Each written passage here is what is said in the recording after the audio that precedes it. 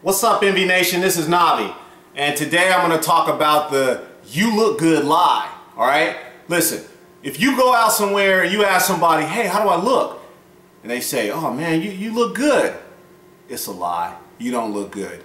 You look like crap. All right? You actually look like crap. If you know that you look good, all you have to do is just kind of wait around, throw on a tank top, chill out, and somebody will come up to you and say, damn, you look awesome. Damn, you look fantastic. Man, you look excellent. Oh my God, I want to look like you. What are you doing? Man, look at your butt, man. You, woo!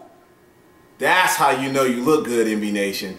So listen, if you have to ask somebody how you look, you look like crap. If somebody walks up to you and says, damn, look at those guns, or my God, you look awesome, or man, I, I noticed you over there, and man, uh, you know, what, what, what do you do, man? What do you eat? That's when you know you look amazing, NV Nation. So, hey, do you want to look good, or do you want to look great? I know how I want to look. So until next time, peace, and stay in the gym.